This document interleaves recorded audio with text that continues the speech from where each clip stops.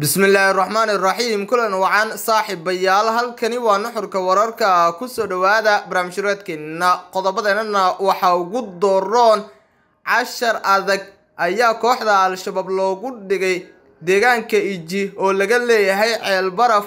Waa daawan doontaan xubno fara badan oo shabaab ayaa halkaasi ku geeriyooday oo ku ruux baxay wiilal yaryar oo al-shabaab ay soo qaldeen dagaalka ay soo geliyeen sidoo kalena ku argagaxay dhimbilaha qoryaha waaweyn ee culculus ay adeegsanayaan ciidamada xaquudirirka. Ayaa halkaas lagu qabtay warbaahinta ayaa loo soo bandhigay waxaana laga qaaday waraysiyo. Waa daawan doontaan barnaamijkeenan ayaan idinkugu soo dhex gudbin doonaa tirada kooxda al-shabaab. Inta ay la eg tahay oo la shaaciyey warbaahinta loo soo bandhigay ayaa sidoo kale daawan doontaan.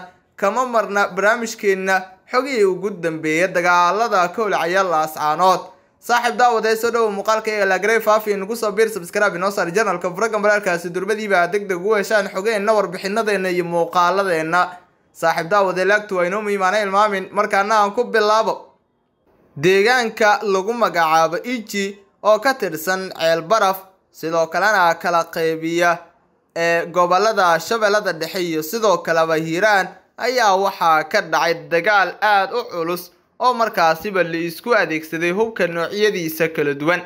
Dagaalkan ayaa u dhexeeyey ciidamada dowladda federaalk soomaaliya iyo kuwa dadka deegaanka oo isku dhinaca iyo xubno ka tirsan kooxda al-shabaab.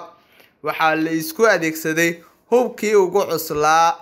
Xubno fara badan oo al-shabaab ah oo laba boqol kor u dhaafaya ayaa lagu dilay dagaalkan ka dhacay iji waxaana xogaha nuxurka wararka soo gaaraya ay warinayaan in sidoo kale labadaasi boqol iyo tirada kor u sii dhaafaysaba ay ku jiraan horjoogayaal kooxda al-shabaab u qaabilsanaa goobo kala gedisan. Waxaa markaasiba horjoogayaashan ay ahaayeen kuwo magacyadooda aada loo yaqiinay oo markaasi lagu raad joogay maalmihii aynu ka soo gudubnay. Dagaalkan iji ka dhacay ayaa sidoo kale waxaa ka qayb qaatay oo markaasiba ku biiray diyaaradaha dagaalka waxaana intooda badanba halkaasi lagu dilay xubno fara badan oo al-shabaab ah. Kooxda al-shabaab ayaa jabkii halkaas ka soo gaaray waxa uu ah jab ay ka sheekeyn doonto sidoo kalena cashar ay ka baratay ayay leeyihiin khubarada ammaanka ee dalka. Dowladda federaalk soomaaliya waxa ay ka bixisay warbixin deg deg ah dagaalkan ka dhacay iji waxaa warbaahinta la hadlay wasiir ku-xigeenka warfaafinta waxa uu sheegay in dagaalkan lagu dilay xubno fara badan oo horjoogayaal ah oo kooxda ka tirsanaa. Waxa uu magacyadooda ku sheegay salaad maxamuud siyaad oo shabaab u qaabilsanaa ururinta dhaqaalaha xuseen dheere oo ku-xigeen u ahaa salaad iyo sidoo kale yuusuf cali sheekh iyo sandheere afartan iyo waxa uu sheegay inay jiraan rag kale oo haatan magacyadooda lagu raad joogo. Wiilal fara badan oo al-shabaab ay soo qaldeen sidoo kalena da'aada shan iyo toban lix iyo toban ilaa toddoba iyo toban u dhexeeya ayaa gacanta lagu dhigay waxaana laga qaaday waraysiyo waxa ugu layaabka badnaa ee wiilashan la weydiiyey ayaa ahaa haddii la soo ururiyo meydadka al-shabaab ma ka dhex aqoonsan kartaan horjoogayaashii ama horjoogihii idin maamulayay ama idin xukumayay. Wiilasha ayaa ku jawaabaya haa waan aqoonsan karnaa magaciisuna waa sidaas iyo sidaas shabaab jabka la gaarsiiyo waxa uu yahay jab markaasi aada u adag oo markaasi la leeyahay goorma ayay ka soo kaban doontaa ama goorma ayay markaasiba la imaan doontaa dagaal oo dhinaca kale markii loo eego rogaal celina oo kooxda u daneynaya. Haddaba saaxiibayaal daawadayaal barnaamijkeena ayaa weli la socotaana qeybihii hore ee barnaamijkana waa ku guda jirnaa. Markaan dhinaca kale haddaanu abaarno waxaa la soo wariyey tirada rasmiga ah ee markaasiba kooxda al-shabaab. Sirdoonka reer galbeedka ayaana shaaciyay tirada dagaalyahanada kooxda al-shabaab. Tirada maleeshiyaadka al-shabaab ayaa weli taagan waxaana lagu qiyaasaa toddoba kun ilaa laba iyo toban kun oo dagaalyahan sida ay sheegtay warbixinta argagixisada qaramada midoobay. Laakiin warbixintu waxay xustay in dakhliga sanadlaha ah ee kooxda uu kordhayo boqol doolar ama boqol milyan oo dollar aan dhehe ilaa boqol iyo konton milyan oo dollar. Iyadoo oo intaa ku dartay shan iyo labaatan boqolkiiba ay ku baxdaba iibsashada agabka militariga intaas waxaa wehelisa garabka shabakada alqaacida ee soomaaliya ayaa waxaa soo gaaray khasaarooyin ka dhashay ololo military oo markaa ka bilowday dalka oo dhan sida warbixinta lagu sheegay. Warbixinta ayaa sidoo kale waxaa lagu soo bandhigay in uu koray dakhliga sanadlaha ah ee kooxda hubeysan ee shabaab. Hase ahaatee warbixinta oo uu arkay warsidaha nuxurka wararka ayaa markaasi hoosta ka xariiqday in al-shabaab ay gulufkan kaga jawaabeen qaar ka mid ah weeraradii ugu ballaarnaa uguna geerida badnaa. Al-shabaab waxay dileen in ka badan shan boqol oo qof oo rayid saraakiil dowladeed asgar saraakiil sharci fulin iyo nabad ilaaliye. Caalami ah lixdii bilood ee la soo dhaafay ayay raacisay warbixinta ayaa qirtay in kooxda ay sii wado isku fidinta iyo qabsashada dhuleed ee soomaaliya iyo dowladaha deriska ah si gaara etoobiya oo ay bilowgii dhammaadka sannadkii hore weeraro ka geysteen. Al-shabaab ayaa horey joogitaan aan saameyn badan lahayn ku lahayd kenya halkaas oo ay ka geysteen weeraro teelteel ah oo ka dhashay waxyeelo soo gaadhay dadweyne iyo saraakiil ciidamo ah. Saaxiibayaal daawadayaal weli barnaamijkeena ayaa la socotaan oo aad daawanaysaan. Markaana haddaynu abaarno xaalada guud ee magaalada laascaanood waxaa la soo warinayaa in halkaas saacadihii la soo dhaafay lagu garaacay madaafiic. Balse markan waxaan idinla wadaagi doonaa taariikhda afartan nin ee hogaaminaya dadka reer laascaanood ee ka soo horjeeda xukuumadda somalilan ee uu hogaamiyo madaxweyne muuse biixi cabdi.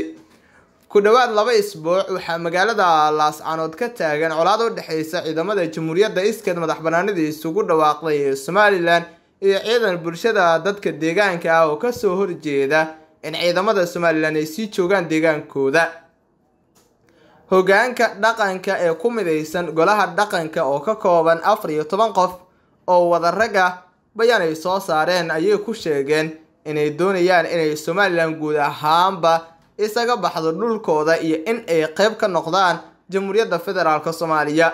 Waxa ay ku doodeen in aysan raalli ka ahayn in dhulkoodu uu qeyb ka noqdo somalilan oo iyadu sheegtay inay ka goday soomaaliya iyada oo ka mas'uul ah dhammaan dhulkii gobollada waqooyi la oran jiray.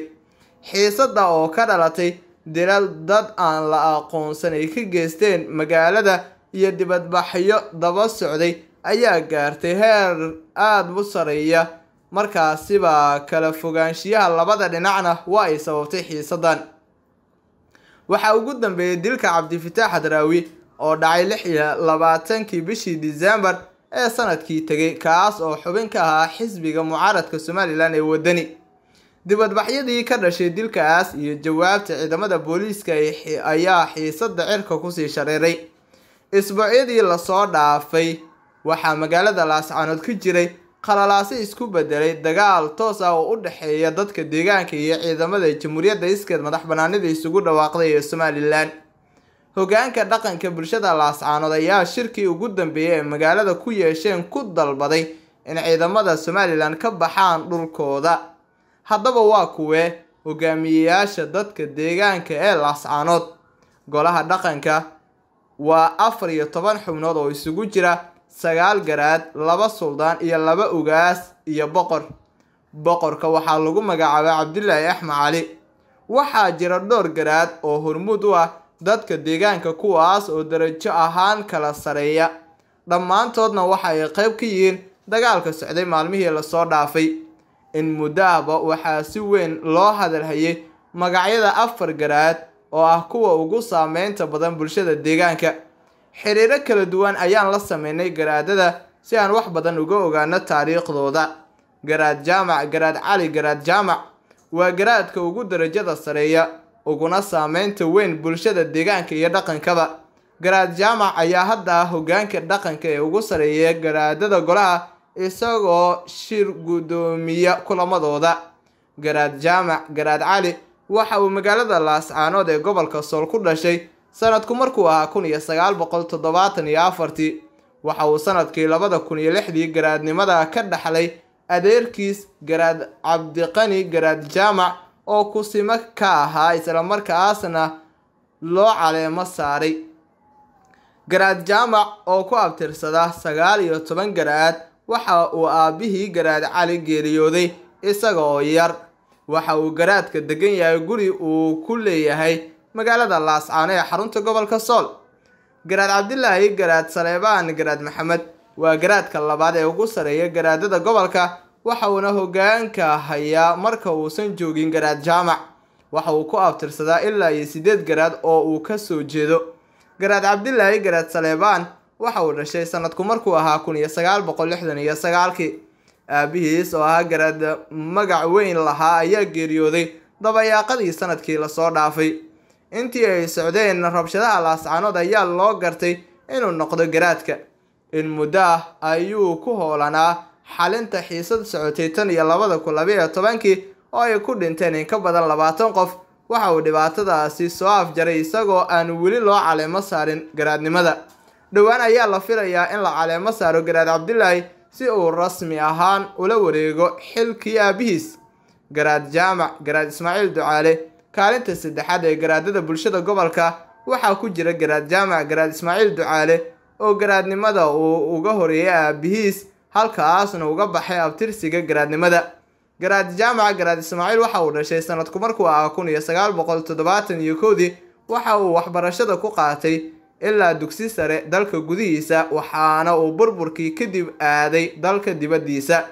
Waxa uu dalka dib ugu soo laabtay markii garaad ismaaciil ducaalo guuleed geeriyooday labada kun iyo sideedii kadib labada kun iyo sagaalkii ayaa la caleemo saaray warar ay warbaahinta heshay ayaa sheegay in garaad jaamac garaad ismaaciil uu yahay ninka abaabulay dadka deegaanka ee dagaalka kula jira ciidamada somalilan waxa uu soo jeediyey in madax dhaqameedku ay ku soo xaroodaan laascaanood xogtaan helnay ayaa sheegaysa in garaadadu ay horkacayaan dagaalka ay qaybta ka yihiin bulshada is abaabushay garaad cabdirasaaq garaad soofe duraan ugu dambeyn abaarno waa garaadka afraad ee ku abtirsada garaadada soo jiray wixii ka horeeyay burburkii dowladii dhexe ee soomaaliya.